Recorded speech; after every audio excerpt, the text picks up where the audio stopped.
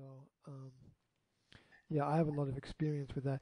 One thing that I've realized recently is, and I knew this before, but maybe you maybe you understand that you know that you know it, but until you experience it, it doesn't mean anything. Mm-hmm, mm-hmm. Right? It's like okay, you, you're weightless in space. Everyone knows you're weightless in space, but until you actually experience the weightlessness of space, you don't actually understand it, right? And and it's about organization of, of information. Organize informa- organization of information is entirely defined by your environment. It is not in any way applicable to the needs of the individual. So, um, and I, I, um, I posted, I actually posted something about this in one of my one of my articles recently. It was about a rat. It was called the the rat test or the rat cage study or something, where um, a group of scientists did something really unethical. Is they got they got a group of rats addicted to like morphine or cocaine or something. Yeah, so I don't know why you'd want to do that, but uh, maybe, maybe maybe you just want to get a supply of cocaine or something. I don't know. Mm-hmm. So they got rats addicted to it, and they wanted to get rats off these uh, addictive drugs, and they discovered that the rats that they allowed to have free play um, those rats became less interested in the drugs. But mm. the rats were that lived in very tightly controlled environments, like as in simulated inner city environments, um, uh, remained addicted. Mm-hmm. And and it, it, it showed the power of the environment. And I have noticed that depending upon where I lived, and I've now lived in four different places in the last year, right? Mm-hmm. Just over last year and a half, I've lived in four different places, and depending upon where I lived, I completely had to reschedule and reorganize the way that I did things because I had to fit myself into the environment. I could not in any way fit the environment into what I was doing. I had to find a way of reorganizing everything that I d- that I that I do to fit into the environment. And um, I find this very interesting because we tend to think that we're in control of what we do. We are in control of what we do, but we're not as in control of it as the environment is in control of us, ever.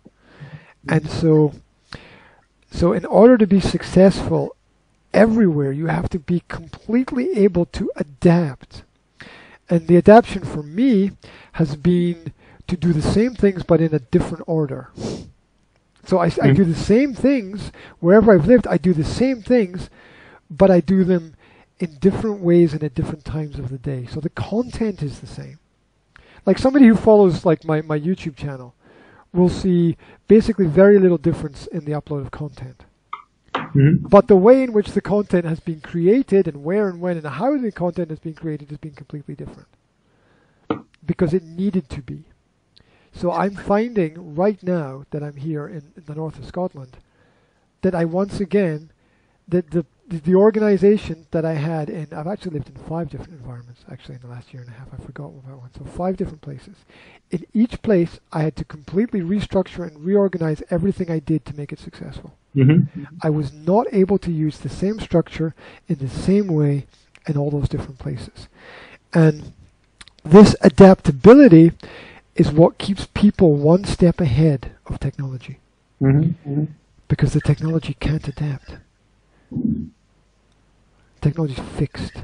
It's not going to change itself. It's mm-hmm. going to react to what people do, but it's not going to change itself. The technology is always going to be one step behind people. It's going to be really close, get mm-hmm. closer, but it's always going to be behind us.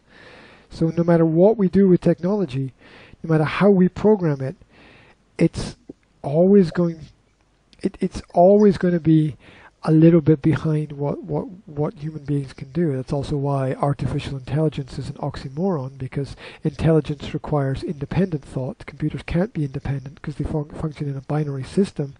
Therefore, artificial intelligence is actually impossible. What is possible is machine learning.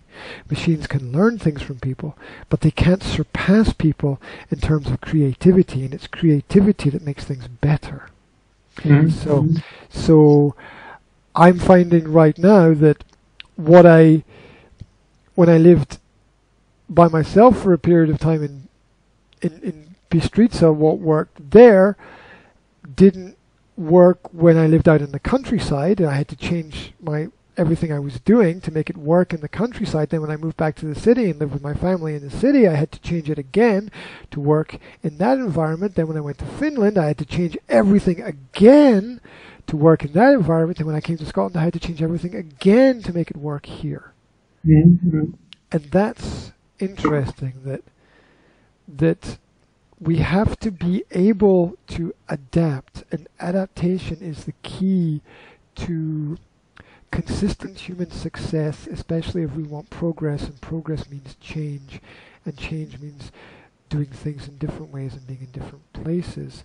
And um, even if our output is the same, we still have to change what we do depending upon the environment, because things like weather, as we've seen today, from from uh, from our conversation, even things like that, even the number of clouds in the sky, Mm-hmm. change the way that you have to do things on a daily basis.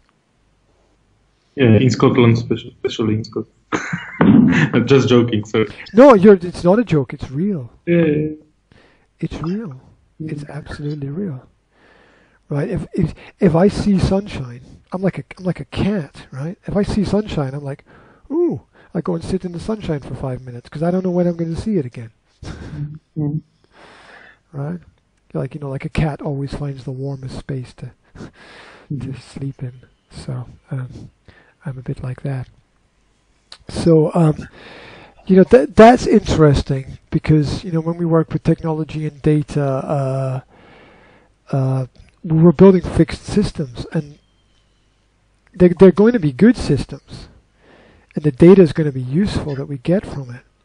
But uh, but as long as people are creative, then technology doesn't stand a chance. Mm-hmm. might be stronger than us, but it's not going to be more creative than us. And as you clearly pointed out earlier in the conversation, the amount of muscle work that was required by a human being uh, has declined for most people over the last 200 years, Mm-hmm. where we've used, you know, we've replaced muscles with, with technology, uh, which is fine. If it makes life easier, that's great. If my three-year-old can walk into the kitchen and say, "Hey, I want to hear this song," and instantly the song gets played, like wow, you know, I wasn't, yeah, I was like, my, I'll tell you what, I only learned that, I only learned that skill about two days before my daughter learned it, right? Yeah. So I learned that skill at the age of 43, and she learned it at the age of three. That's wild. It's great. Hmm.